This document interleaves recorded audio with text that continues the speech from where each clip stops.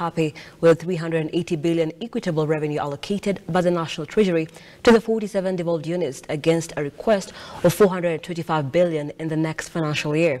The governors are adamant if the allocated amount is not reviewed upwards, county operations will be adversely affected, reversing the gains on devolution in the country. Henry Tende now reports. The relationship between the national government and the devolved units through the Council of Governors continues to face a myriad of challenges. The Council of Governors is decrying the shrinking revenue allocation from the Treasury in the next financial year. From the draft budget policy statement 2023, the National Treasury has allocated county governments Kenya shillings 380 billion for the financial year 2023-24. We hold a strong view that this is not equitable with the next fiscal budget expected to grow, governors are aggrieved that the National Treasury has not factored this growth in equitable revenue allocated to the 47 devolved units.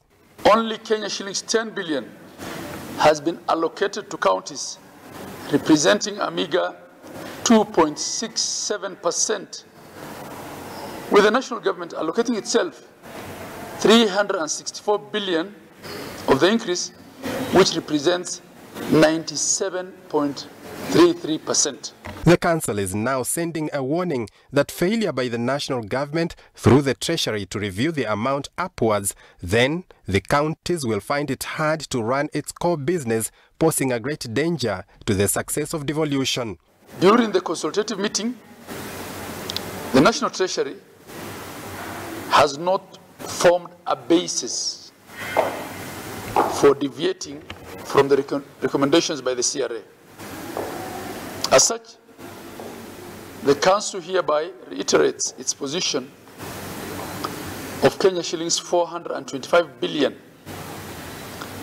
as the county equitable share of revenue for the financial year 2023-24. Going forward, the Council wants a review in existing law so that counties' equitable revenue is firmly anchored in law to make the disbursement seamless while making sure there is no push and pull between the national government and the county governments. The Council is apprehensive that the continued allocation of funds destined for devolved functions to national government MDAs is an affront to devolution, and the Council shall not relent in its quest to make devolution work. Henry Tende, Look Up TV. You are watching